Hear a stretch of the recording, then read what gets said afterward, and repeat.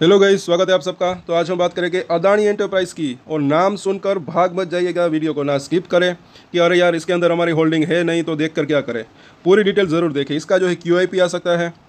और यहाँ पर, इसके ऊपर आप चाहे तो अपनी नज़र बना के रख सकते हैं। मुझे ऐसा लग रहा है कि एक से दो साल की बात करें तो एक अच्छे रिटर्न मिलने की संभावना हो सकती है। क्यों ऐसा लग रहा है, वो भी हम देखेंगे। क्योंकि सबसे पहले तो जो है, इसके ऊपर अगर देखें, इसके अंदर, इसका अगर बिज़नेस देखें तो काफ़ी डाइवर्सिफाइज बिज़नेस है। एक तो इंफ्रास्ट्रक्चर फिर जो है एयरपोर्ट बिज़नेस फिर डेटा सेंटर और भी कई बिज़नेस तो काफ़ी डाइवर्सिफाइड बिज़नेस है। आगे चलकर अच्छी तेज़ी की संभावना रह सकती है। और एक बात है कि ये जो है दो अरब डॉलर यहाँ पर एक पॉइंट तीन अरब डॉलर लिखा है, लेकिन आगे हम देखेंगे। दो अरब डॉलर के आसपास का ये क्यूआईपी यानी कि तकरीबन तकरीबन साढ़े सोलह हज़ार करोड़ रुपए के आसपास का पैसा जुटा सकते हैं। ये पैसा भी जो है इसके लिए काफ़ी यूज़फुल रह सकता है, क्योंकि मुझे ऐसा लग रहा है कि ये जो क्यूआईपी का पैसा है इसके ऊपर इसको जो है इंटरेस्ट पे नहीं करना पड़ेगा। तो वो पैसा जो है इंटरेस्ट पे जो है रह सकता है और उससे अगर ये पैसा अपने बिज़नेस के अंदर लगाते हैं तो उससे जो है कंपनी की प्रॉफिट और रेवेन्यू बढ़ सकता है तो शेयर के अंदर भी तेज़ी की संभावना रह सकती है। लेकिन हाँ ये भी ना भूलें कि ये अभी ऐसा नहीं है कि ये मतलब कि पैसा जुटा लिया और सीधा सीधा प्रॉफिट और रेवेन्यू जो है बढ़ गया, वक्त लग सकता है।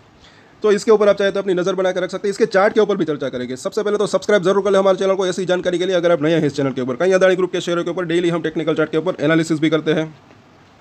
सो अभी या फिर लॉन्ग टर्म की बात करें, कई बार वो भी मैंने बोला है कि थोड़ा थोड़ा कर खरीदना थोड़ा थोड़ा करके बेचना, वो एक अच्छी स्ट्रेटजी रह सकती है। लॉन्ग टर्म के लिए अगर किसी को लेना है तो खरीद सकते हैं। थोड़ा थोड़ा करके आपको एड करना है तो कर सकते हैं, क्योंकि क्या पता बाज़ार के अंदर कुछ अगर गिरावट आई तो जो है नीचे के भाव भी देखने को मिल सकते हैं, ये बात है। चार्ट के ऊपर भी अभी हम चर्चा करेंगे सपोर्ट और रजिस्ट्रेशन के ऊपर भी आप नज़र बना के रख सकते हैं। और साथ साथ एक चीज़ और है कि एक ही शेयर्स के अंदर जो है पूरा पैसा ना फंसा दे पोर्टफोलियो को अगर डाइवर्सिफाइड रखते हैं तो ज़्यादा बेहतर रह सकता है, जिनको खरीदना है उनकी बात है। चलिए यहाँ पर देखते हैं डिटेल कि अदानी ग्रुप की फ्लैगशिप कंपनी अदानी एंटरप्राइज अगले सप्ताह की शुरुआत में अपने शेयर बेचने की योजना बना रही है। ब्लूमबर्ग की एक रिपोर्ट में मामले की जानकारी रखने वाले के हवाले से ये बात कही गई है। और सोर्सेज का कहना है कि अदानी एंटरप्राइज का जो है एक क्वालिफाइड इंस्टीट्यूशनल प्लेसमेंट के माध्यम से लगभग 1.3 अरब डॉलर जुटाने का प्लान कर रही है। और उम्मीद है कि क्यू आई पी सात अक्टूबर से शुरू होने वाले सप्ताह की शुरुआत में लॉन्च हो जाएगा। अब देखते हैं कि दो अरब डॉलर क्यों हम बात कर रहे हैं। तो बिक्री की शर्तों में एक ग्रीन शू विकल्प हो सकता है, जिसे बोर्ड इस सप्ताह के अंत तक अंतिम रूप देगा, दे देगा। और पता चला है कि इक्विटी इश्यू में कई घरेलू संस्थागत निवेशकों की गहरी दिलचस्पी है। अदानी एंटरप्राइज को इंस्टीट्यूशनल को शेयर बिक्री सहित विभिन्न तरीकों से एक अरब रुपए, यानी कि तकरीबन दो अरब डॉलर जुटाने के लिए मई में बोर्ड की मंजूरी मिली थी। तो अगर मतलब कि ग्रीन शू विकल्प, यानी कि अगर ओवर सब्सक्राइब होता है तो ये जो है इशू साइज़ 1.3 अरब से बढ़ाकर दो अरब डॉलर भी कर सकते हैं। पिछली बार भी हमने देखा था जब अदानी एनर्जी सॉल्यूशन का जब क्यू आई पी आया था तो इसके अंदर भी अच्छी खासी डिमांड थी। अब देखते हैं आगे कि अदानी समूह के लिए एक और बड़ा माइलस्टोन साबित होगा ये क्यू तो ब्लूमबर्ग के मुताबिक लोगों का कहना है कि प्रस्ताव पर चर्चा जारी है और शेयर बिक्री के साइज़ और टाइमिंग समेत डिटेल्स में बदलाव हो सकता है। कहा जा रहा है कि ये क्यूआईपी अदानी समूह के लिए एक और बड़ा माइलस्टोन साबित होगा। अगस्त में रिपोर्ट आई थी कि ICICI securities limited Jefferies financial group inc और SBI capital market limited share बिक्री में अदानी एंटरप्राइज की मदद कर रहे हैं। और जैसा कि यहाँ पर हमने बात की, अदानी एनर्जी सॉल्यूशन जुटा चुकी है एक अरब डॉलर इस पॉइंट को ज़रा देख लेते हैं कि आखिर में इस साल अगस्त में अदानी एनर्जी सॉल्यूशन लिमिटेड ने क्यूआईपी से एक अरब डॉलर या आठ हज़ार तीन सौ तिहत्तर करोड़ रुपए जुटाए थे।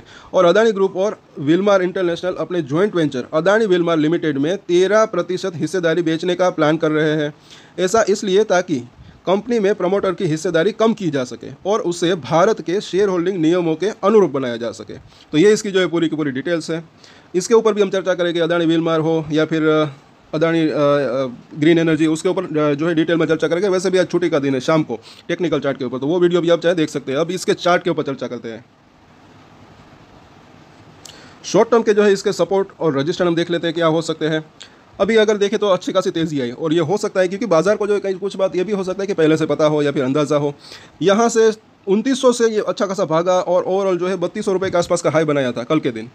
और ये तेज़ी ऑलमोस्ट आ चुकी। अभी यहाँ पर एक रजिस्टेंट के आसपास जो है सामने खड़ा है बत्तीस सौ साढ़े बत्तीस सौ जो कि पिछली बार भी यहाँ पर इसने रजिस्टेंट फेस किया था। सपोर्ट की भी हम बात करेंगे। पहले तो यहाँ पर अगर देखें वीकली चार्ट के ऊपर अगर लंबा चार्ट देखें तो पिछली बार जो है क्या हुआ था, जब छत्तीस सौ, सैंतीस सौ के आसपास एक हाई बनाया था इसने। ये एक बड़ा हर्डल बना हुआ है। ये लेवल तो थोड़ा सा काफ़ी दूर है, अभी तो इसकी फ़िलहाल हम बात नहीं करेंगे, लेकिन ये लंबे समय की बात मीडियम टर्म की अगर बात करें तो ये एक तो ये रजिस्ट्रेशन है, ये पार होता है, उसके बाद और तेज़ी इसके अंदर आने की संभावना हो सकती है। सपोर्ट की बात करें तो ये जो इसने सपोर्ट लिया था, वहीं पर इसका सपोर्ट भी हो सकता है, जो कि तकरीबन मुझे ऐसा लग रहा है कि एक तो ये लेवल है, उसके बाद अट्ठाईस से साढ़े सत्ताईस के आसपास का जोन है।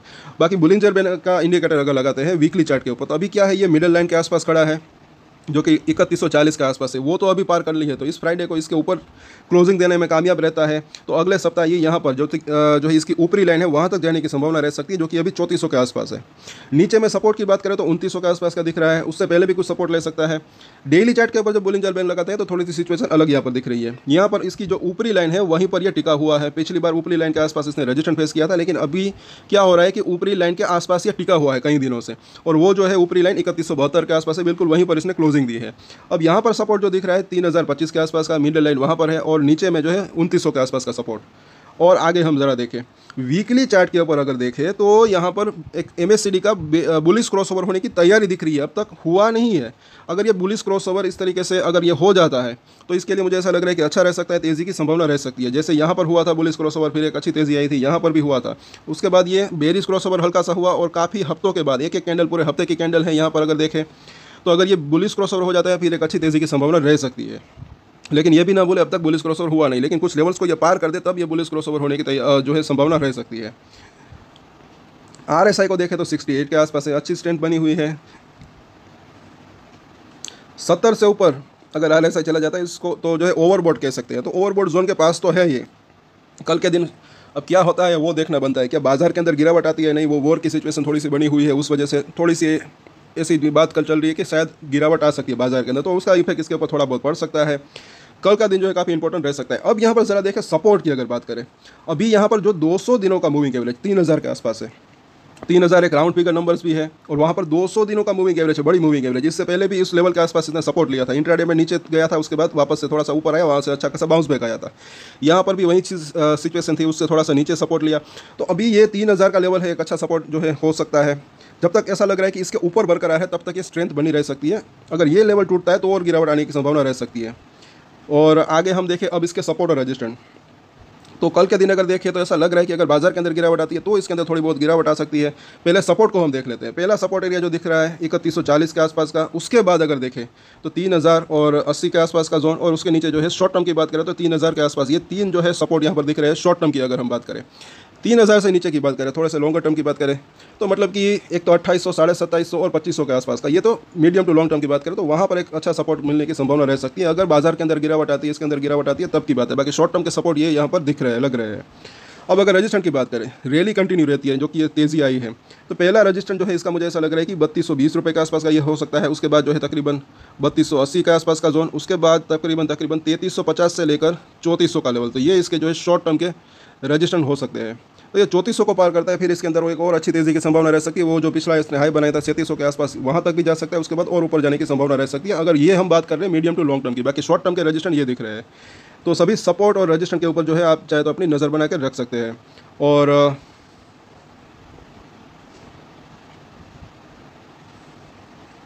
शॉर्ट टर्म में देखिए, ये वॉलेटिलिटी रह सकती है। बाकी मुझे ऐसा लग रहा है कि लॉन्ग टर्म की बात करें, एक से दो साल की बात करें तो मुझे ऐसा लग रहा है कि ये इसके अंदर जो है साढ़े चार से पाँच हज़ार तक जाने की संभावना रह सकती है तो आप चाहे तो इसके ऊपर अपनी नज़र बना कर रख सकते हैं।